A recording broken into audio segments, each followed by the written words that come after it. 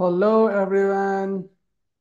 So today we are going to learn about what is charge storage capacity, how to calculate charge storage capacity using EC-Lab software, and why calculating the charge storage capacity is important in the context of implantable electrodes.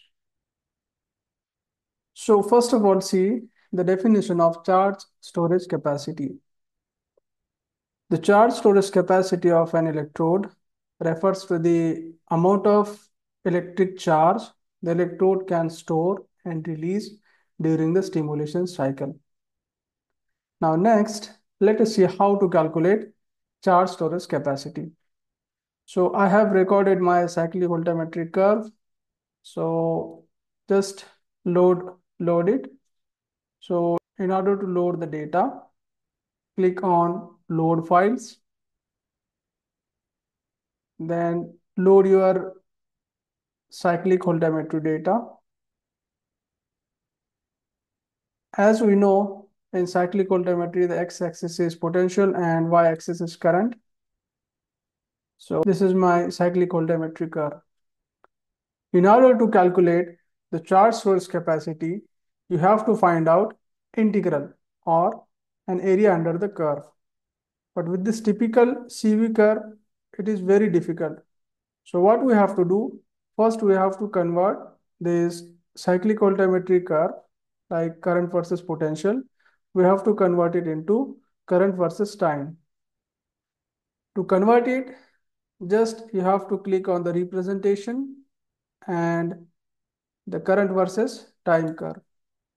So here is your unfolded view of cyclic voltammetry. Then, by the way, you can calculate the total charge storage capacity by integrating the anodic charge and the cathodic charge.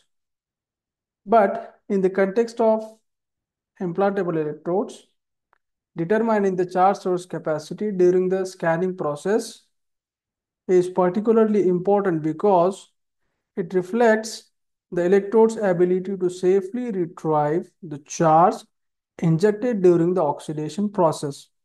This is crucial for maintaining the balance of charge over repeated stimulation cycle, which ensures electrode does not accumulate excess charge that could lead to tissue damage or electrode degradation.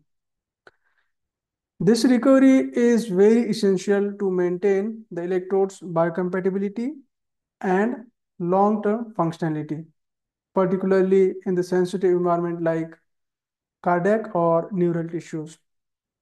Now let us see how to calculate the integral. Sometimes it is called as area enclosed by the CV curve. So in order to calculate the integral, just click on the analysis, math, and hit the integral button. Now select the area below the baseline zero. So you have to select this area so that you will get the integral or we can say the area enclosed by the CV curve during the reduction process and hit the calculate button.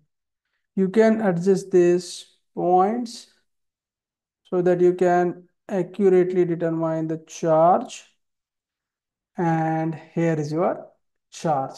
So this integral is nothing but your charge. And next step, you have to divide this charge by the scan rate. And then you will get your charge storage capacity. So in order to know more about the charge storage capacity in the context of implantable electrodes, I'm attaching some links in the description so you can read the uh, published article so that you will get it know more about it. If you like this video please don't forget to like and subscribe my channel. Until then thank you so much